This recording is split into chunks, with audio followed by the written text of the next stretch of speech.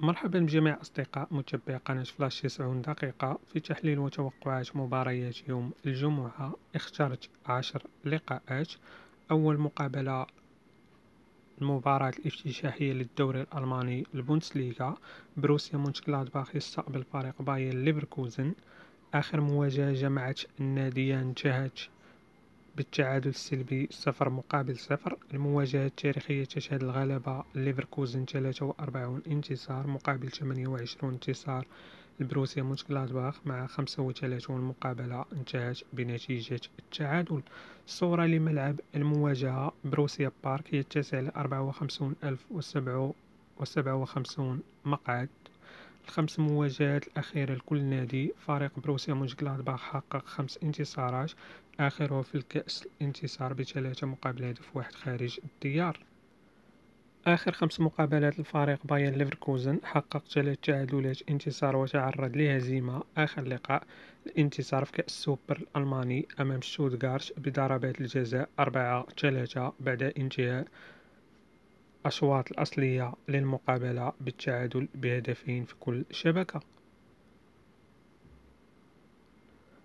فريق باير ليفركوزن حافظ تماما بقرابة تسعون في المئة على squad الموسم الماضي كذلك بالإضافة إلى المدرب تشابي ألونسو. لذا أفضل توقع للمقابلة over اثنان هو أفضل توقع للقاء افتتاحي للدوري الألماني البوندسليغا بالنسبة للمقابلة الثانية الدوري الفرنسي Ligue 1 الجولة الثانية ترتيب الناديان باريس سان جيرمان في الرتبة الثانية ثلاث نقاط مونبيليه في الرتبة الثامنة بنقطة واحدة. آخر مواجهة جمعت الفريقين انتهت لصالح باريس سان جيرمان الانتصار بستة مقابل هدفين خارج الديار. المواجهة التاريخية تشهد الغلبة لباريس سان جيرمان خمسة وثلاثون انتصار مقابل سبعة عشر مقابلة لمونبيليه مع عشرون مقابلة انتهت باقتسام نقاط اللقاء. صورة لملعب المواجهة البارك دي برانس يتسع وثلاثة وثمانون متفرج. آخر خمس مقابلات لكل نادي باريس سان جيرمان حقق ثلاث انتصارات تعادلين. آخر لقاء الانتصار في الجولة الافتتاحية. الانتصار خارج الميدان أمام لوهافر بأربعة مقابل هدف واحد. فريق مونبولي آخر خمس مقابلات النادي تلقى ثلاث هزائم مع تحقيق انتصار وتعادل في آخر لقاء أمام ستراسبورغ داخل الميدان هدف في كل شبكة. أفضل توقع للمواجهة أرشح فوز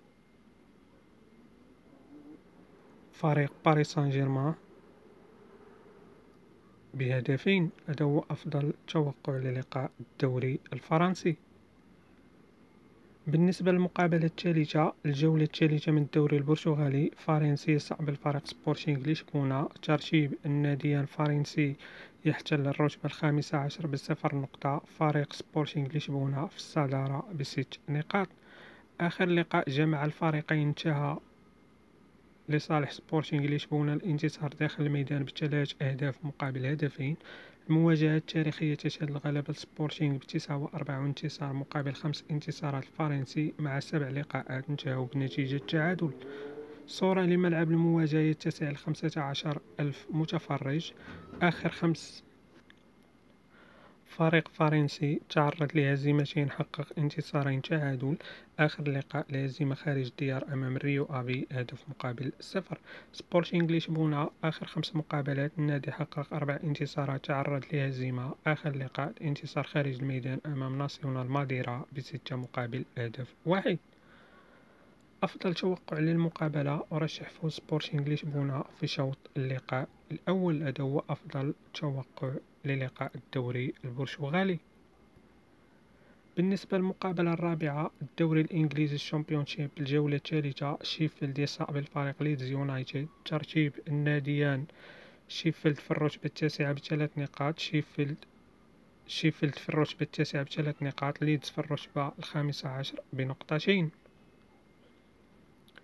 آخر مواجهة جمعت الناديان انتهت لصالح ليدز الانتصار هدفين مقابل صفر خارج الميدان. المواجهة التاريخية تشهد الغلبة فريق ليدز أربعون انتصار مقابل واحد وثلاثون انتصار. شيفيلد مع خمسة وعشرون مقابلة. انتهت باقتسام نقاط. المواجهة صورة لملعب اللقاء يتسع لتسعة وثلاثون ألف وثمانمائة وأربعة عشر مقعد.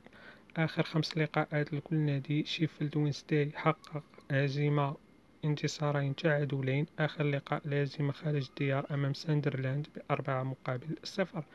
ليدز آخر خمس مقابلات النادي حقق تعادلين انتصارين وتعرض لهزيمة في الكأس. آخر لقاء تعادل خارج الديار أمام وست بروم صفر مقابل صفر. للإشارة فريق ليدز مغاير على الموسم السابق.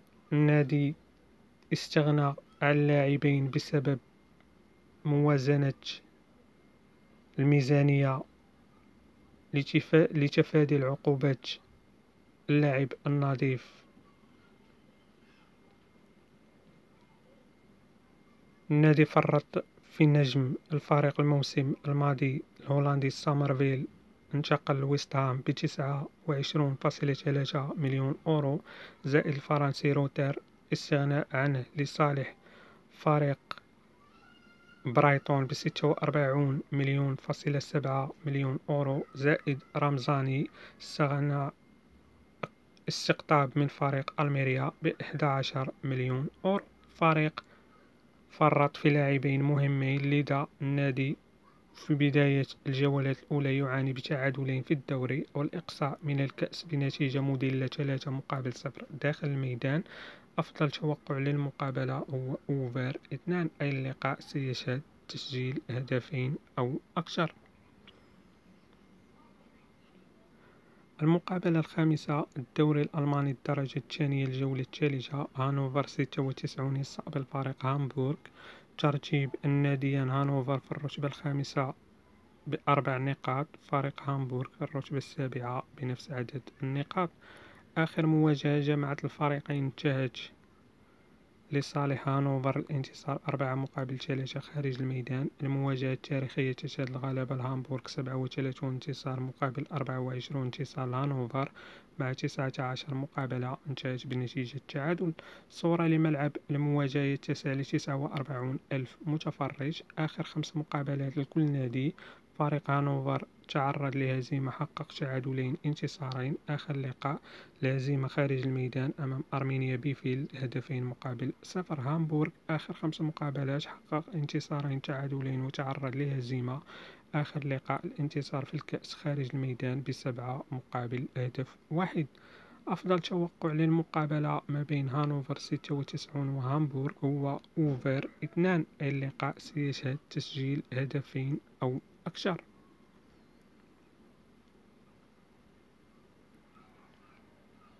المقابلة السادسة الدوري الدنماركي الجولة السادسة آلبورغ يستقبل فريق أروس.